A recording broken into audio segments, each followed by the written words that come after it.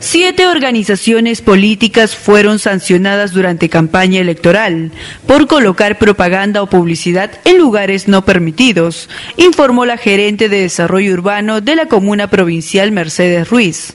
Los movimientos políticos sancionados son Vamos Perú, Banderas Tacneñistas, Patria Segura, Unión por el Perú, Fuerza Tacna, entre otros por, eh, colocado de por propaganda política sin autorización, en algunos casos en propiedades que no tenía autorización del, del, propietario y que también se recibió las quejas, y en otros en lugares prohibidos como el tema de la zona monumental. La funcionaria además señaló que en coordinación con Electrosur se incautó más de 100 banderolas de los partidos que estaban colocados en postes de alumbrado público. De la misma manera instó a candidatos a retirar sus afiches, banderolas y demás artículos de publicidad en bien del ornato de la ciudad.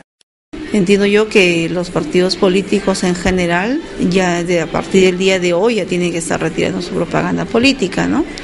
Eh, considerando pues de que ya se han terminado las elecciones, que también este bueno, creo que después de todo la publicidad que de alguna forma también ha alterado el ornato de nuestra ciudad, bueno, ahora retomemos la tranquilidad que, que queremos, ¿no?